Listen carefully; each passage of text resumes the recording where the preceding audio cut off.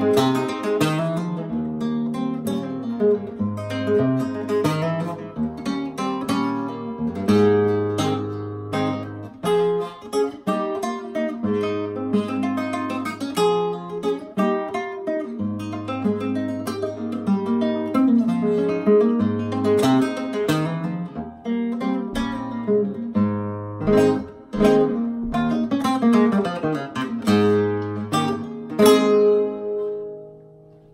Comment below, like, subscribe. See you next time.